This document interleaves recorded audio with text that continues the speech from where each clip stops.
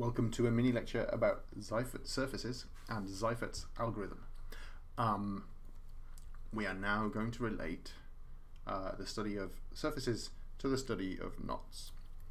Uh, so, here is the definition. Uh, whoops, we don't use that colour. Okay, definition. Uh, we're going to take a knot K. A Seifert surface for a knot K is a connected, oriented surface embedded in R3, right, living in uh, three dimensions, and its boundary must be K. So a Seifert surface is a surface inside R3 whose boundary is our knot K. So here's an example.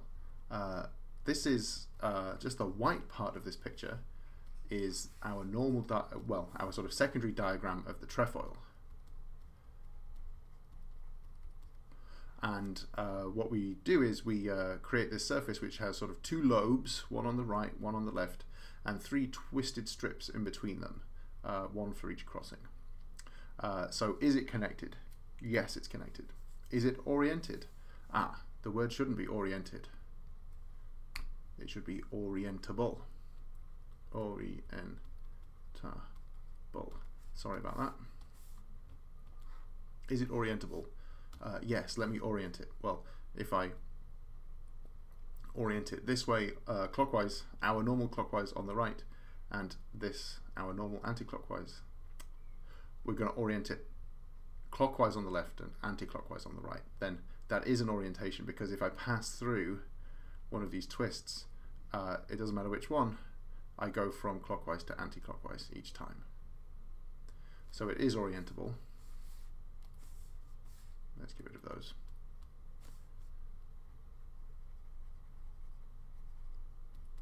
Uh, we said it was connected as well. It's embedded in R3 as we can see and its boundary is K. Um, so warning, it sounds like uh, I've made my surface just by chessboarding a diagram. Uh, that doesn't always work. Apparently I can't write right now, uh, so I won't do it. If you take a diagram, chessboard it, then you can regard your shaded regions uh, and the sort of twisted strips in between them as a surface whose boundary is your knot K. Uh, if the diagram was connected, then uh, so will your surface be, but there's no guarantee that the surface will be orientable. Uh, so if you try the other normal diagram of the trefoil, uh, take a chessboarding of that, you'll see that the corresponding surface is not orientable. So if you think I just played a clever trick, I didn't because it doesn't always work. Nevertheless, there is a theorem due to Seifert which says every knot admits a Seifert surface. So for every, for every knot, there is a Seifert surface.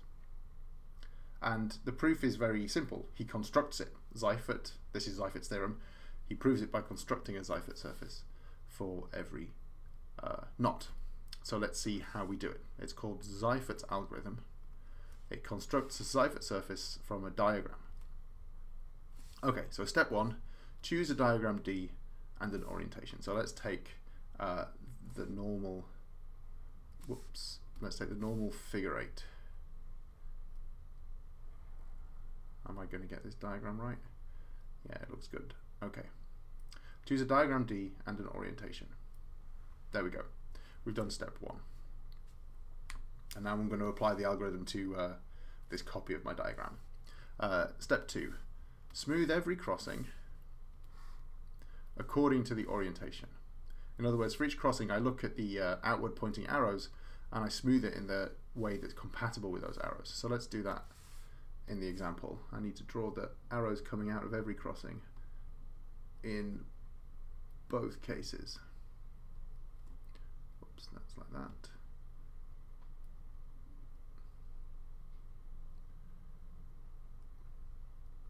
I didn't mean to do it there, never mind.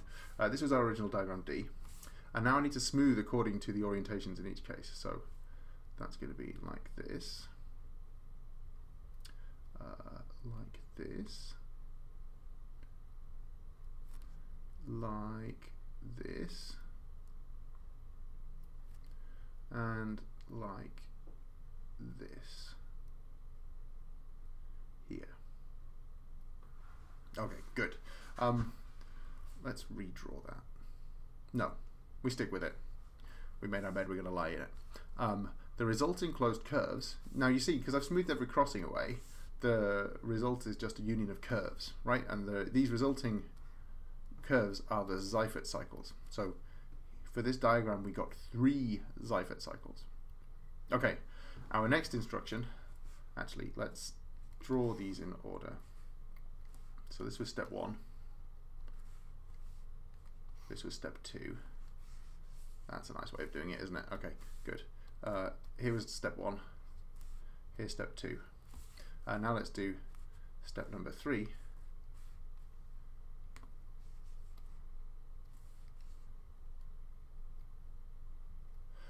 Fill in each surface, ah, fill in each cycle to form a disk.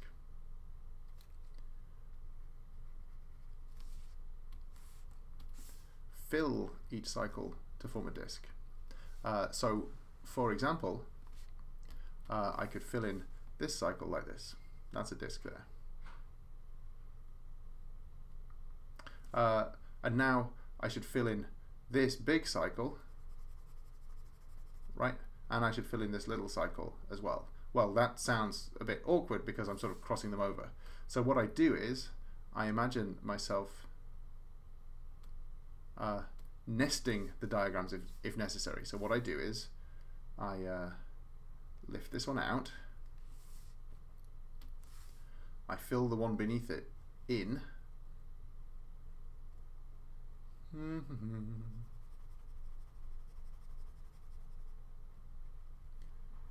blue, blue, blue.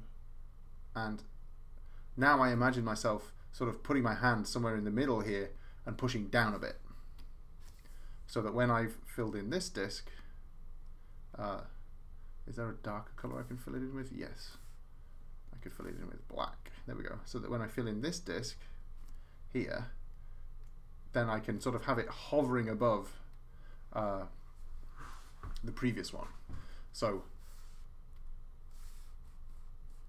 you got to imagine that this top one and uh, this middle one here are at the same height, whereas this one I've sort of pushed down in the middle so that things don't actually cross over in the end.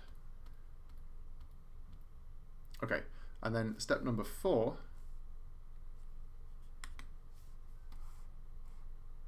this is going to blow your mind. Um, step number four, add a twisted strip at each former crossing. So I look inside my diagram and I ask myself, where did there used to be a crossing? Well, so for example, here there used to be a crossing like this with this strand going over and these ones coming under. So into that I insert a twisted strip looking like this and it joins together the two uh, the, the, the discs on either side of the old crossing. Okay, so let me just do that. Get rid of everything. Uh, back to the right color. Okay, so I reinsert my old crossing and join uh, uh, as a twisted strip like that. Okay, so I'm going to do the same thing everywhere.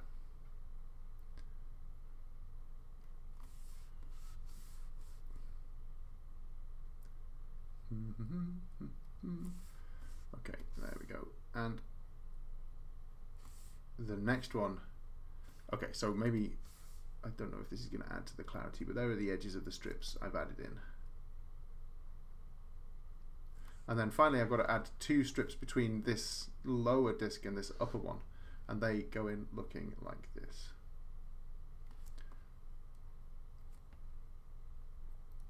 Okay, so this is clearly uh, not a resounding success. Um, uh, algorithm is always really confusing. And uh, simply console yourselves uh, with the fact that all we need to know is the genus of the resulting surface. So we call the surface that we get out is called sigma d. And we have a proposition. It says if d has n crossings and the algorithm produces s Seifert cycles, then the genus of this Seifert surface is 1 minus s plus n over 2.